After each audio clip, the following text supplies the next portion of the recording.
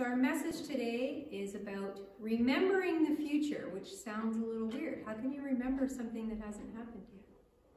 But we'll find that out. now, as I said, I love stories.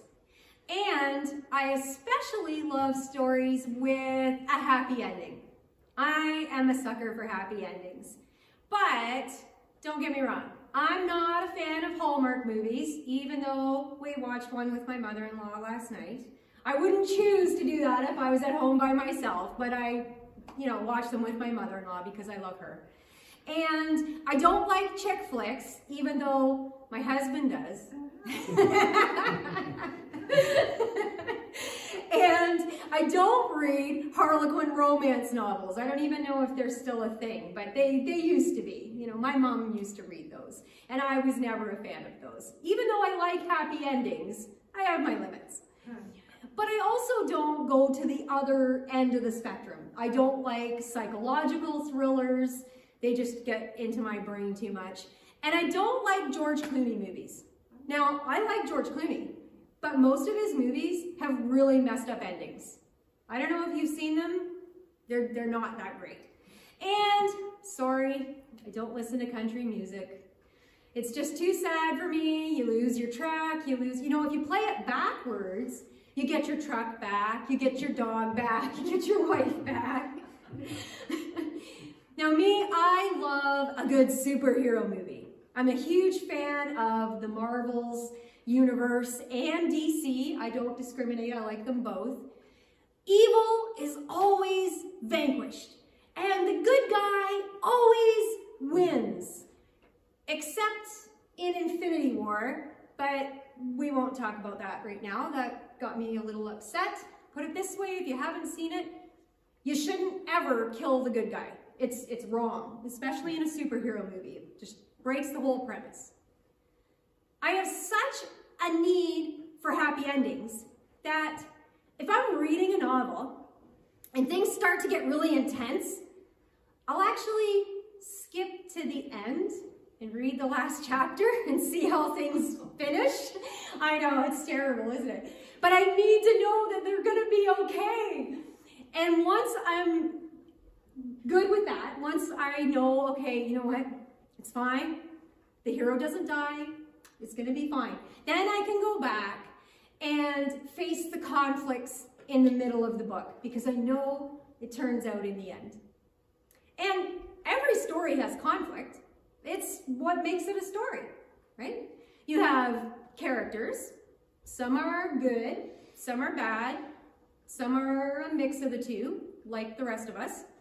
And like the rest of us, they face any number of challenges as the plot moves along, building to a climax, the ultimate conflict, after which things get resolved one way or another, unless it's a George Clooney movie. My story is filled with conflicts. Some of you have heard bits and pieces of it.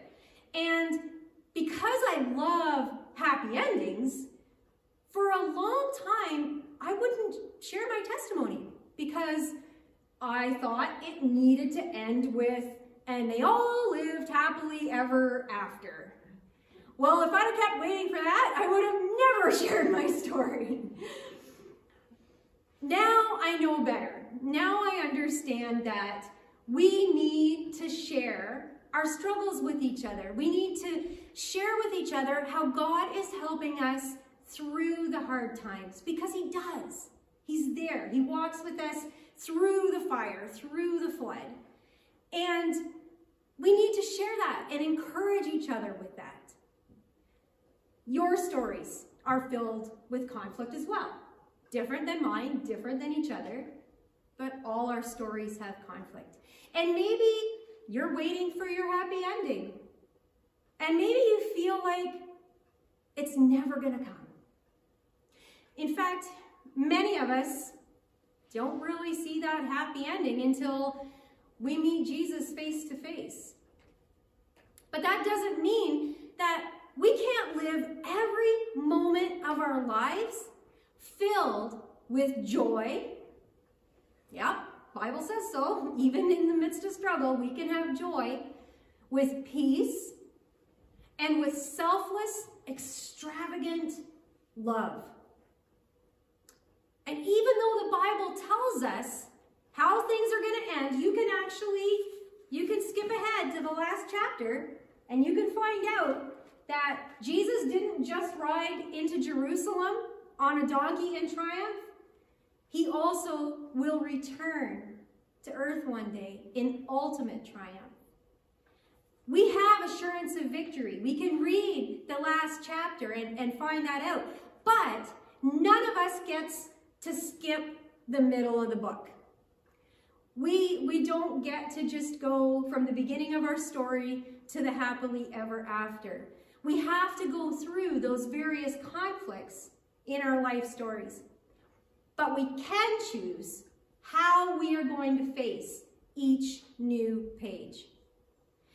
What we believe about the future will determine how we live here and now. And today we're going to look at a page from Jesus' story and find out what he does when he knows he's about to face a monster. Uh, now the story's starting to make sense, right? well, it's six days before the Passover, as Rod told us. And as it actually is today. Jesus knows that the day of his death is quickly approaching. The anger and power of his enemies are growing, and it's actually getting to the point where it's quite dangerous for Jesus to minister openly as he's been doing to the crowds. In fact, he's just come out of hiding so that he could spend one last evening of fellowship with some very dear friends. Jesus and his disciples have come to Bethany, to the home of Martha and Mary and Lazarus. Some names that might sound familiar to you. These three siblings are hosting a dinner party in Jesus' honor. It's a way of thanking him. You see, last time Jesus dropped by to visit, he raised Lazarus from the dead. It was a pretty big deal. That event, in fact, created such a stir with the Pharisees that Jesus and his followers actually had to get out of Dodge for a while and lay low. But now they're back. And Jesus is happy to celebrate with those that know him and love him. And these three know him better than most. So if you're in your Bibles at um, John verse 12, or chapter 12, sorry, just turn back a chapter to verse, or to chapter, sorry, 11, and look at verse 1, and it reads like this. Now, a man named Lazarus was sick. Same Lazarus we're talking about in today's reading. He was from Bethany, the village of Mary and her sister Martha. Now take a careful look at verse 2. This Mary, whose brother Lazarus now lay sick, was the same one who poured perfume on the Lord and wiped his feet with her hair. Now at this point, this event hasn't actually happened yet. It happens in chapter 12. But John makes mention of it here as well. So keep that in mind as we go along. So further through the story, Jesus comes to Bethany where Lazarus has been sick, but by the time he gets there, Lazarus has already died. So look at verse 21.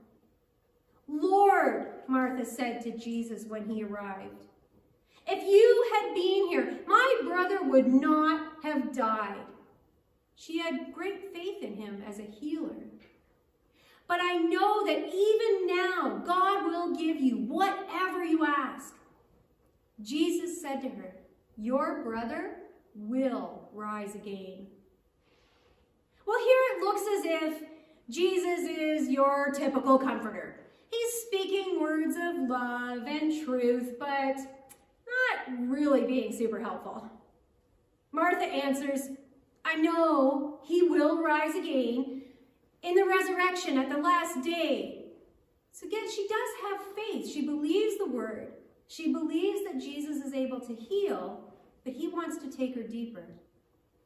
It's as if she's saying to him, you know, thanks, but that's, that's not really helping right now. But the words that Jesus speaks next change everything for Martha and for us. He says to her, I am the resurrection and the life. The one who believes in me will live, even though they die. And whoever lives by believing in me will never die. Do you believe this? Do you believe this today? Yes, Lord, she replies.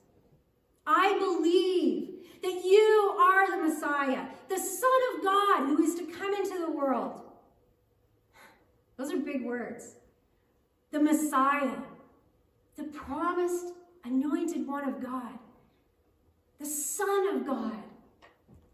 This family knew who Jesus was. And the disciples knew who Jesus was. And they were celebrating. So we're back in chapter 12, our, our scripture passage for today. They celebrated knowing that Lazarus, he was going to die again. And they celebrated knowing that the Pharisees were out to arrest Jesus. And they could come charging in and arrest Jesus and possibly the whole party at any moment. They celebrated knowing that Jesus wouldn't be with them much longer, as he told them. And in the midst of their celebrations, Lazarus, a living testimony to Jesus' power over death, reclined with them at table at perfect peace. And Martha served everyone from a heart of love. And Mary, she must have been the youngest.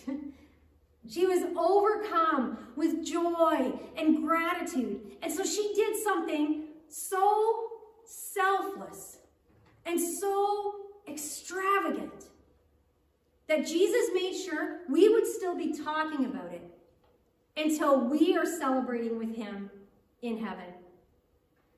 Taking a container filled with expensive perfume, and I mean expensive, in today's money, it would be worth about $25,000. And to give you a little bit of perspective as a side note, Judas, who betrayed Jesus later to his death, he did so for about a thousand bucks.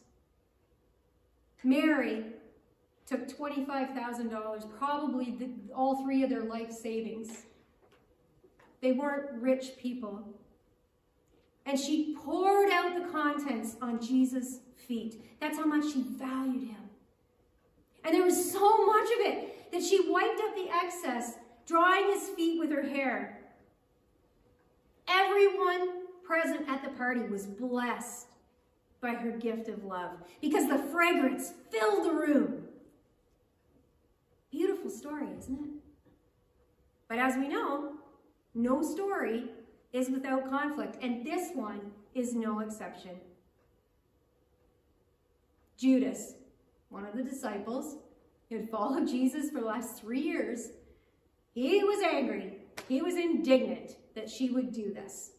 And he said, why wasn't this perfume sold and the money given to the poor? It was worth a year's wages. But we know, as the Bible tells us, that Judas didn't actually care about the poor. He was a thief. And he felt robbed of his chance to help himself to what would have been a large deposit to the coffers. But Jesus defended Mary, and he defends us against our accuser. Leave her alone, he says. She did this in preparation for my burial. Mary's act of, was of great importance to our Lord. It's so great that, that he had John, the Holy Spirit inspired John when he wrote the gospel to speak of this twice, once before it even happened in chapter 11, and again to describe what she had done. Mary knew who Jesus was, and she knew what was coming for him. And yet, she celebrated with him. She celebrated. They celebrated resurrection life even as Jesus was facing the cross. Martin Luther King Jr. once said, We must accept finite disappointment, but never lose infinite hope. We have resurrection hope today. In Romans 8 Paul puts it this way For I consider that the sufferings of this present time are not worth comparing with the glory that is to be revealed in us. And Paul suffered. This isn't some guy who just had this great life saying this. Jesus wanted Mary to keep that joy and that wonder and that gratitude and that love that she had, even as she was facing the coming grief of his death and burial. Likewise, he wants us to live each and every day with that same joy, that same wonder, love, and appreciation of the very present future. And that is Jesus himself, who is the resurrection and the life. Our hope for the future is here, present with us right now. Now we we can't hold back time. We can't turn back time. We can't skip to the end of the book. And regardless of the monster that may be coming, we need to turn the page. When we're going through hard times, as, as many of you are, the last thing we want is for someone to come across with pious platitudes such as, this too shall pass. What we want is for someone to just be with us in the moment. And Jesus is the only one who can give us both peace in the present and hope for the future. His promises are not empty sentiment. Far from it. He has defeated every monster we could possibly face. And just as he sat and celebrated with his friends, celebrating the resurrection, even as he faced the cross, so too he dwells with us, giving us peace and joy, even as we suffer through various trials. He gives us hope when we trust in him.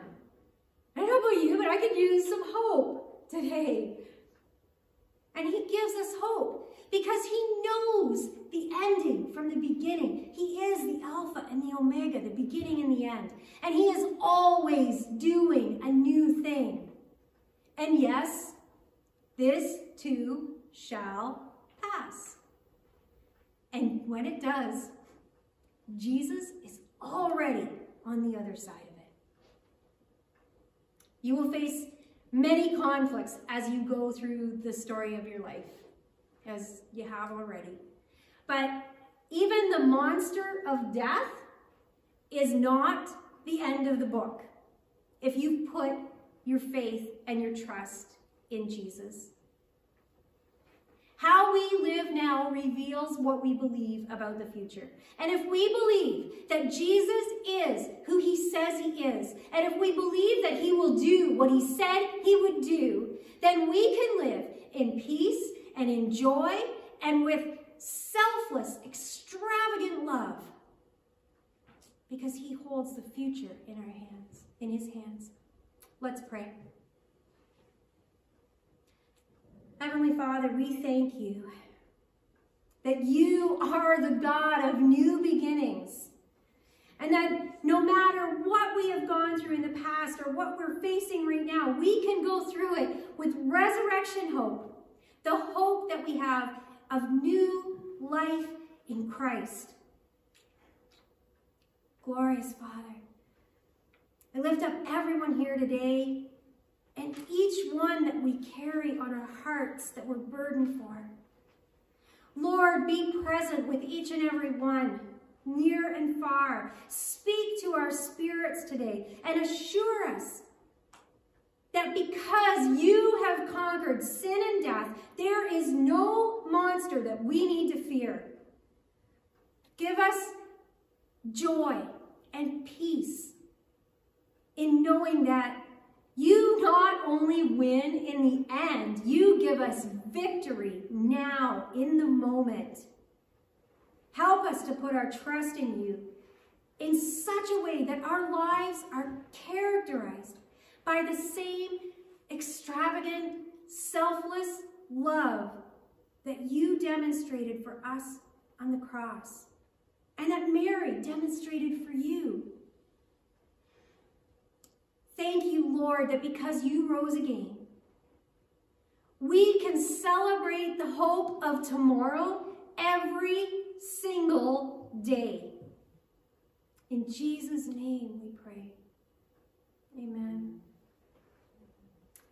The Apostle Paul, whose life was filled with conflict, he's beaten within an inch of his life several times, stoned almost to death, shipwrecked, you name it. He said this in Philippians 3, 13 to 14. Brothers and sisters, I do not consider myself yet to have taken hold of it, but one thing I do, and this is what we need to do. Forget what is behind Straining forward to what is ahead, I press on toward the goal to win the prize for which God has called me heavenward in Christ Jesus. So whatever we're facing, we can follow the examples of Paul and Jesus and Mary, rejoicing even in the midst of adversity, while we remember the future in the present. Every ending is a new beginning. And in light of technical difficulties, we're going to forego the closing song. so, if you'll stand and receive the benediction today, it is from Romans 15, verse 6. So if you'll just stand with me, I will bless you and you may go. So as you go about your week, rejoice in hope. Be patient in tribulation and be constant in prayer. God bless you. Have a wonderful week and go in peace. Thank you.